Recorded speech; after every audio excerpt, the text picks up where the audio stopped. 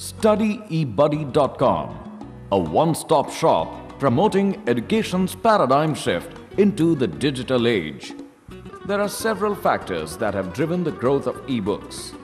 Changes in the demographic structure, growth in education, increase in internet users, increase of internet-enabled computing devices, improvised content.